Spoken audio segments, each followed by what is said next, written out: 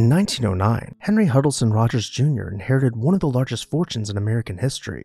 His father had spent his entire adult life building an empire from the ground up, starting with a simple oil field to building refineries and railroads, before finally merging with John D. Rockefeller to become Standard Oil. Henry Sr. had led an incredibly fascinating life, remaining modest and humble even as one of the 100 wealthiest men in the world.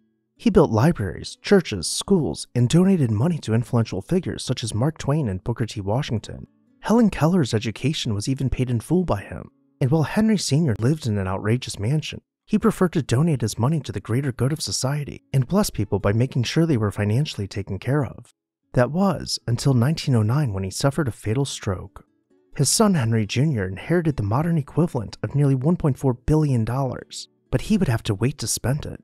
Henry Jr. had joined the New York National Guard previously, unaware of the scope of his father's wealth. Just as his time serving was coming to an end, World War I broke out. He was told he would be stationed and realized that he might never get the chance to spend his inheritance. But if he were lucky and could successfully lead as a lieutenant colonel in the field army, he could enjoy a life of luxury when he returned home. He hired the esteemed architecture firm of Walker and Gillette to design for him a palatial mansion in Southampton to be ready for him upon his return. As the years went by, the mansion was fine tuned by artists, and the Olmsted brothers were granted carte blanche to design the landscape how they saw fit. Finally, as World War I drew to an end, Henry Jr. returned victorious from the front lines in France, and for the first time, he would see his mansion.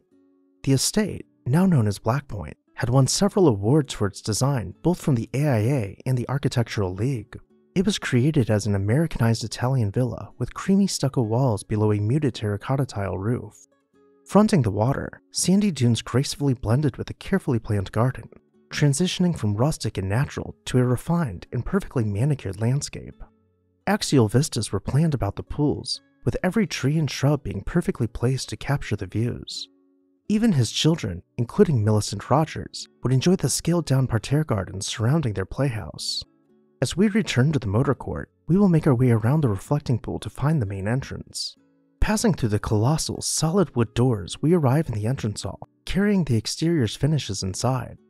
From terracotta floors to creamy plaster walls and wrought iron handrails overgrown with potted plants, when the doors are opened, the lines are blurred between indoor and outdoor living.